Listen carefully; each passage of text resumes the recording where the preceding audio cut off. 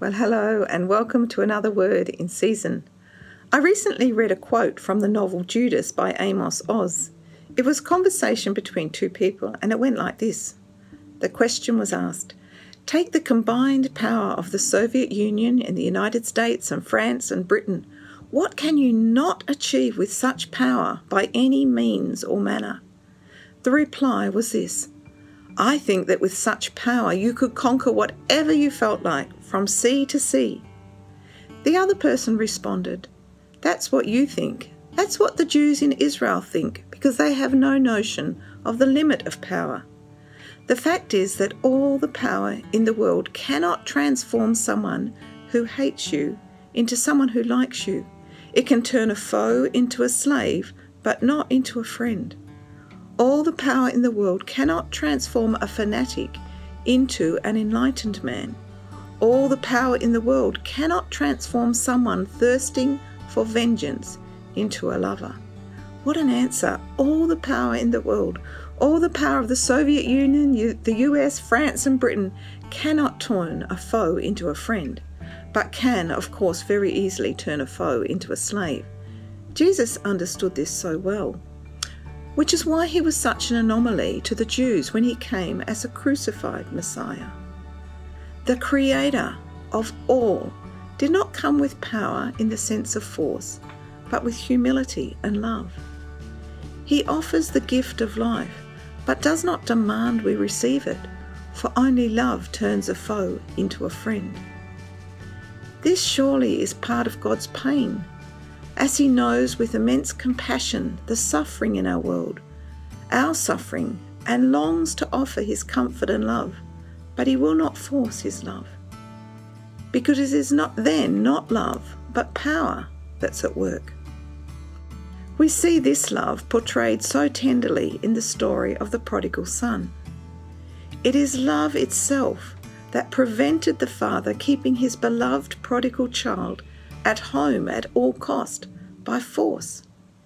He could have not given that inheritance, and the son had no means to leave home. He would have been forced to stay. Instead, he allowed his child to find his own life, even with the risk of losing it. God loves us so much that we are free to leave home. He doesn't force us to stay obedient.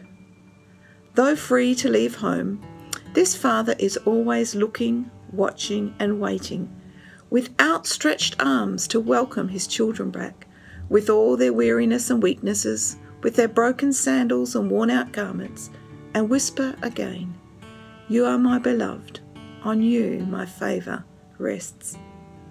His seeing is an eternal seeing, a seeing that reaches out to all humanity across all ages. It is a seeing that understands the lostness of women and men of all times and places, that knows with immense compassion the suffering of those who have chosen to leave home. The heart of this father burns with such desire to bring his children home. He suffers beyond telling when his children leave home, when their hearts are far from him. But he cannot make them love him without losing his fatherhood. From the deep inner place where love embraces all human grief, the Father reaches out to his children and he seeks only to heal. The heart of this Father has always been open. His arms are always stretched out. He waits. There's pain and disappointment in the waiting and in the hoping, yet he never pulls back his arms. He never stops loving. Henri Nouwen writes in his book, The Return of the Prodigal Here is a father who, from the beginning of creation, has stretched out his arms in merciful blessing, never forcing himself on anyone, but always wanting, never letting his arms drop down in despair, but always hoping that his children will return so that he can speak words of love to them and let his tired arms rest on their shoulders. His only desire is to bless.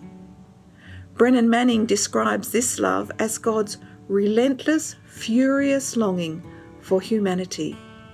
He says, There is nowhere God won't go to find us, no country too distant, no terrain too tre- treacherous, no risk too great, and there are no boundaries to where His love will take Him in order to find us, embrace us, and carry us home.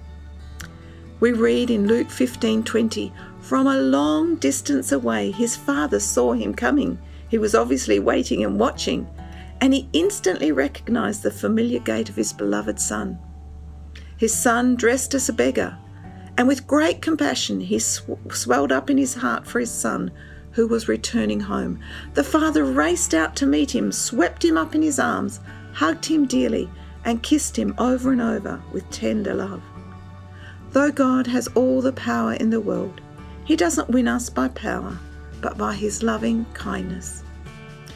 If you feel distant from God, if you've wandered from home even a little, remember God's arms are always open, waiting to embrace again with His relentless, powerful love. Psalm 91 says, He who dwells, that is, makes his home, in the shelter of the Most High, will rest in the shadow of the Almighty. He will cover you with his feathers, and under his wings you will find refuge. That's our home. That's our safe place. That's where God invites us to come and rest. He won't force us. He loves us too much for that, but He waits and watches, ready to embrace the tired and weary, the disappointed and despondent, those who feel unworthy over and over again. Such is His relentless love. So let me leave you with the words of an old hymn that I love. O love that will not let me go, that is, will not forget me or give up on me. I rest my weary soul in thee. I give thee back the life I owe, that in thine ocean depths its flow may richer, fuller be. Amen.